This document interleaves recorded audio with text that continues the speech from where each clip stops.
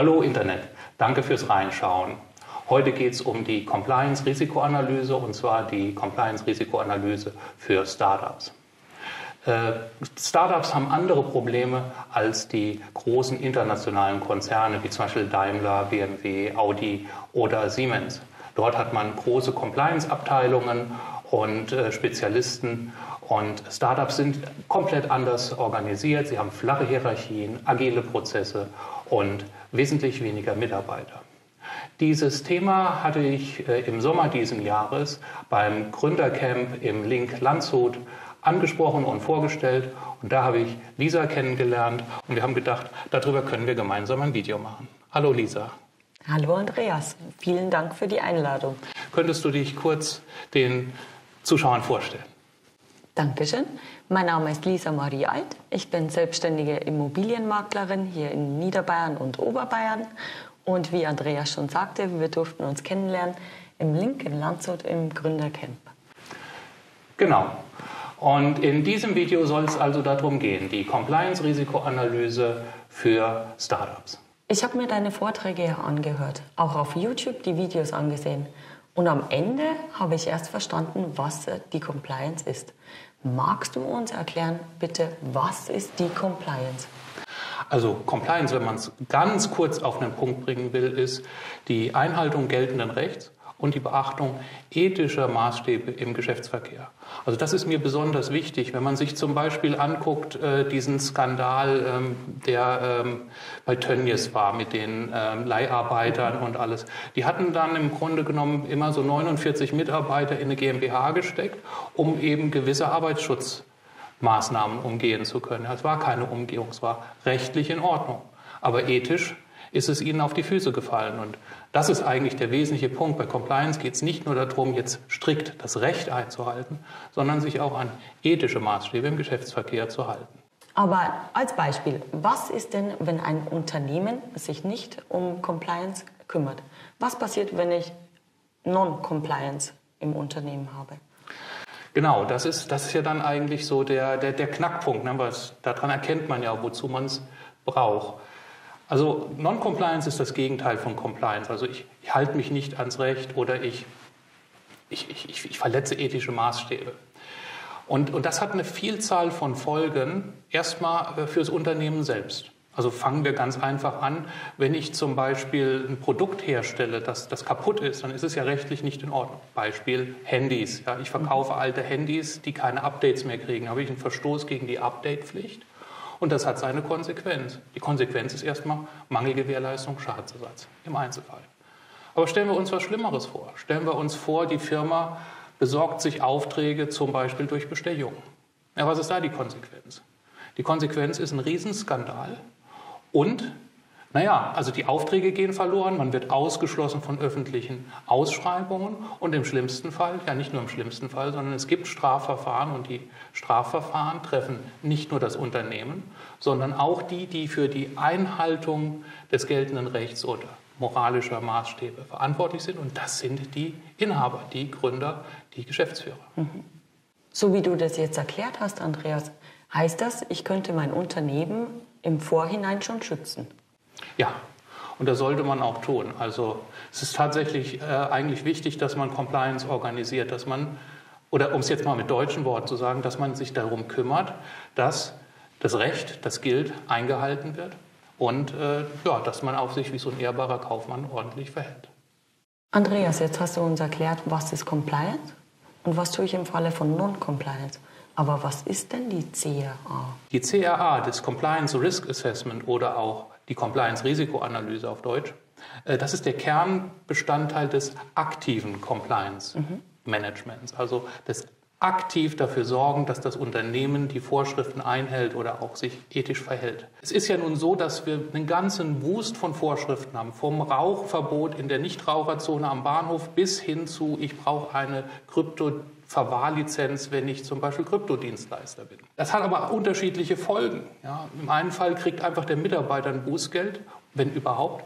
Und im anderen Fall ist das ganze Geschäftsmodell des Startups kaputt, weil wenn ich eben eine tolle technische Idee realisiere, die dann aber eine Banklizenz benötigt und ich habe sie nicht, dann stellt mir die Bank ja, äh, die Bankaufsicht ja äh, den Geschäftsbetrieb ein. Und äh, die Compliance-Risikoanalyse kümmert sich genau darum, herauszufinden, welche Risiken gibt es und wo sind sie am größten. Und sie erlaubt deshalb dem Unternehmen oder dem Gründer gleich von vornherein zu erkennen, da muss ich darauf achten, das ist top wichtig, dass ich das nicht falsch mache. Mhm. Du redest hier ganz oft von Startups. Heißt das, im besten Falle würde ich dich bei der Gründung schon hinzuziehen? Je nachdem, was man vorhat. Also äh, Startups machen ja was Neues, mhm. entwickeln neue Ideen. Und, und viele Startups sind technikgetrieben. Und der, der Punkt ist dann eben der, du brauchst irgendwie zwei Jahre, drei Jahre, bis du überhaupt weißt, ob deine Geschäftsidee am Markt ankommt. Und so lange wirst du in Ruhe gelassen.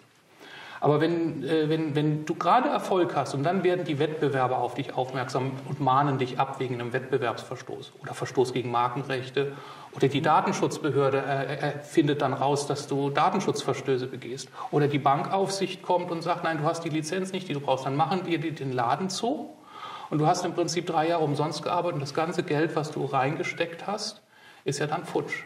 Also tatsächlich ist es so, dass es super sinnvoll ist, bei innovativen Ideen, also bei Startups, äh, vorab eine Compliance-Risikoanalyse zu machen, weil dann kannst du ja die Probleme praktisch an der Wurzel bekämpfen und einbauen. Und das habe ich tatsächlich auch äh, mit einigen Startups äh, so durchgezogen, äh, dass wir eben gesagt haben, okay, die und die Punkte muss man einbauen in die Prozesse, dann sind sie compliant und dann gibt es kein Problem.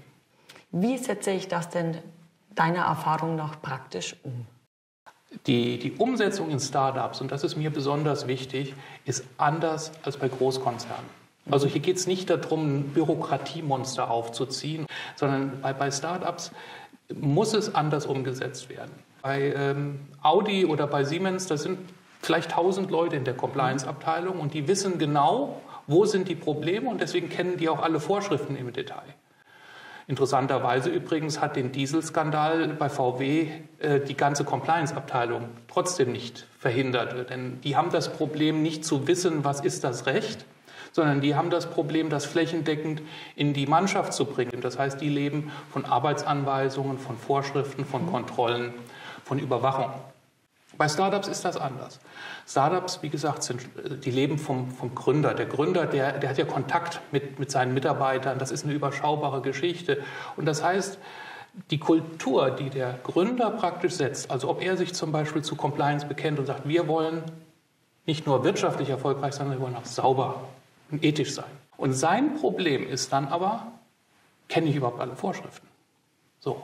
Und deswegen spielt eben die Compliance-Risikoanalyse bei Startups eine ganz andere Rolle als bei Großkonzernen. Bei Großkonzernen dient die Compliance-Risikoanalyse dazu, zu gucken, wo muss ich denn kontrollieren? Weil die, die Vorschriften, die gibt es. Die müssen nur eingehalten werden. Bei Startups dient die Compliance-Risikoanalyse dazu, dass der Gründer oder der Geschäftsführer weiß, Darauf kommt es an und da muss ich bei meinen Mitarbeitern darauf achten, dass sie das nicht falsch machen, dass wir keine Aufträge durch Korruption gewinnen oder dass wir auch keine Umweltverschmutzung begehen. Sowas. Aber jetzt habe ich doch noch eine Frage, Andreas. Weil, mal angenommen, ich gründe jetzt ein Startup. Wie setze ich das denn praktisch um? Schritt 1 ist Risikoidentifikation. Das ist so ein kreativer Prozess mit verschiedenen Möglichkeiten. Man macht Workshops etc. Und da finde ich erstmal raus, welche Risiken gibt es überhaupt. Klar, da, nimmt, da vergleicht man anhand von Produkten, von Märkten, von Dienstleistungen und auch von, von Rechtsordnung, wenn ich grenzüberschreitend tätig bin, vergleicht man, welche Vorschriften gibt es überhaupt. Im zweiten Schritt kommt dann die Risikobewertung. Und da guckt man sich an, jetzt ganz konkret auf das Unternehmen geschaut, ähm, wie wahrscheinlich ist es, dass ich einen Verstoß habe und wie stark wirkt sich äh, dieser Verstoß aus. Und aus dieser Sache leitet man dann gewissermaßen Maßnahmen ab. Also jetzt wieder Beispiel Update-Pflicht bei, äh, bei Handys. Ja, ich muss eben gucken, dass ich, wenn ich Handys verkaufen will, dann muss ich gucken, dass ich schon beim Zulieferer vereinbart habe, dass der auch Updates bereitstellt. Und schon ist das Risiko natürlich ein ganz anderes, als wenn ich einfach nur die Billigdinge aus China kaufe und dann irgendwie auf den deutschen Markt bringe.